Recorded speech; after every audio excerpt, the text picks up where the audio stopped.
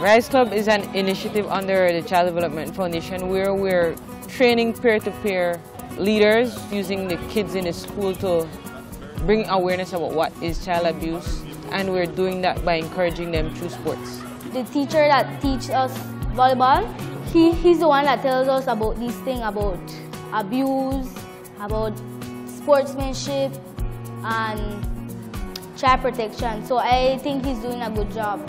We see sports in these Rise Club as a tool because it brings a certain amount of discipline. We relate that to life. If you want to be successful in life, you have to also have a certain level of discipline.